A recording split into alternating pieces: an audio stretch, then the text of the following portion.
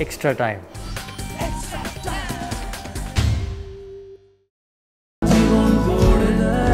George Telegraph makes your life.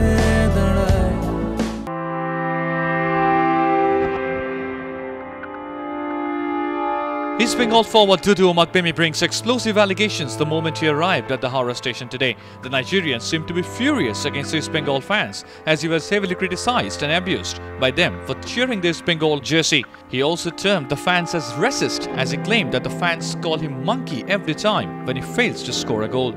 I could not get a goal. You start causing me, calling me monkeys. It's not so good, man. Is it possible for fans to abuse player? And I said change. I told the coach change. So that's why I go out. Sometimes you need to support the players you have. Don't abuse. Not only that, he brought the reference of Barcelona fans when Suarez did the same thing. What about Suarez who tore his jersey in Barcelona? Did they kill him? That's how people should think. We love Bengal. This is our team and this is what I'm playing for now. I work so hard for the team. 90 minutes I run so hard. I fly how many hours from here, from my home here to serve the team.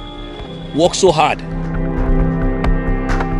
Doubt, if Dudu can prove his allegations, East Bengal will be in serious trouble by FIFA.